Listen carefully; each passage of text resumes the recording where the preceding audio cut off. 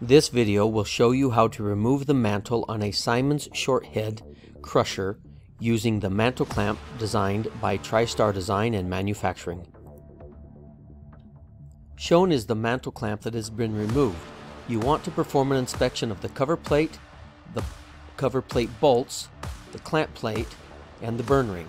Notice the cover plate shows a little bit of wear on the edges, the bolts look intact, the clamp plate has not shifted and appears to be in good condition, and the wear ring has performed well and shows the expected wear.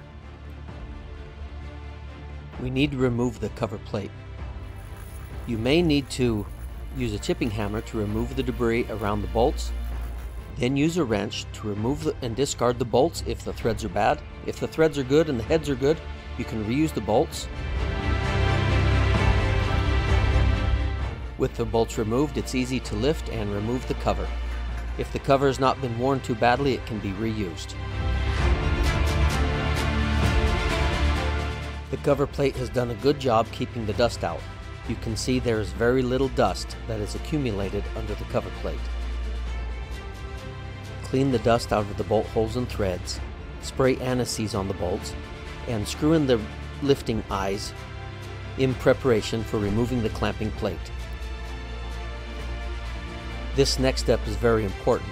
If you recall, when we installed the mantle, we torqued each of these bolts down to 650 foot-pounds. We need to be sure to remove them in a pattern so that we don't end up overstressing the bolts. If you remove all of the bolts from one side, or remove them entirely, all of that stress will transfer to the other bolts and it can result in breaking the heads off. Number each of the bolt holes as indicated on the chart and when you are removing these bolts you need to follow the pattern. This prevents the bolts from being overstressed and keeps the heads from being broken off. With the bolt pattern clearly marked, you can use a torque multiplier or a large breaker bar to loosen each of the bolts.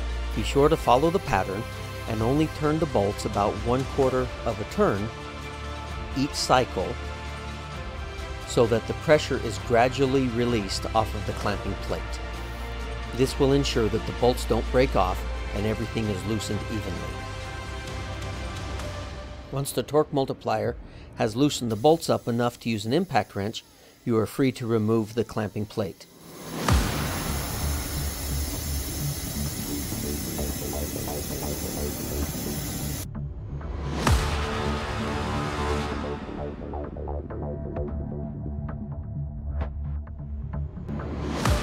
With all of the bolts loosened, you can now remove the clamping plate. You'll notice that the clamp plate is no longer putting pressure on the mantle. Everything has been released and all of the pressure is gone. And it's really that simple.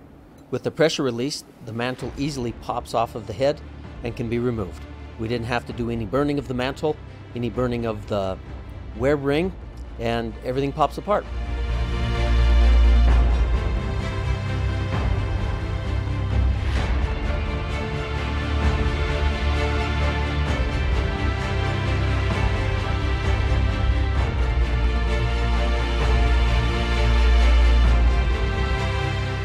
So let's compare the OEM model with the TriStar mantle clamp. With the OEM, you're spending countless hours burning the mantle just to get it removed. You don't need to do that with the TriStar mantle clamp. No burning is required. When you burn the mantle, it quite often you'll damage the head. With the TriStar mantle clamp, you're not going to damage the head. No burning is required. Which do you prefer? At TriStar Design and Manufacturing, we work to make your job safer, faster, and smarter.